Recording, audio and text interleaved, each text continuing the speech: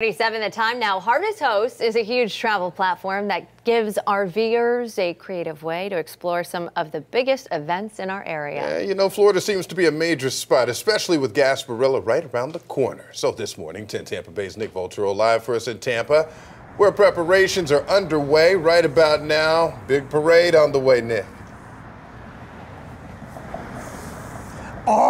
Are you ready for this big parade? Caitlin, Frank, good morning. And as you can tell right now, the stage is already being set up here on Bayshore Boulevard as tens of thousands are going to make their way and they're bracing their inner pirate and descending for that treasure swashbuckling all the way on four wheels.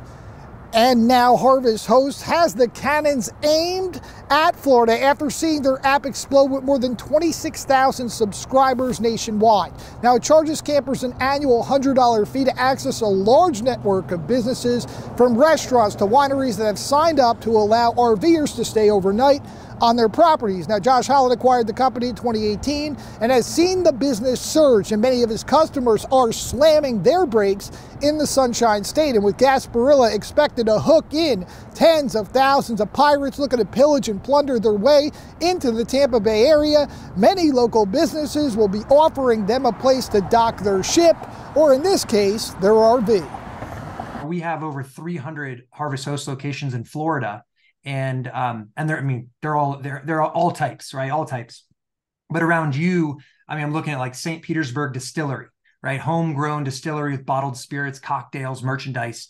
Really cool place for our members to go park, spend the night, go support the business, maybe drink a couple too many drinks, and then they don't have to drive anywhere, right? Go back to the RV and everyone's safe. So it's it, it just everyone's everyone wins with this situation.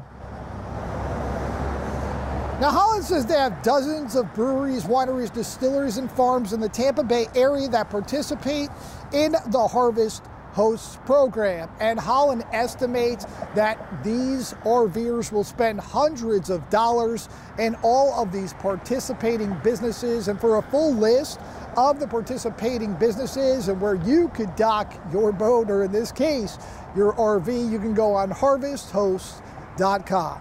Reporting live in Tampa, Nick Vulturo, 10 Tampa Bay. All right, thanks.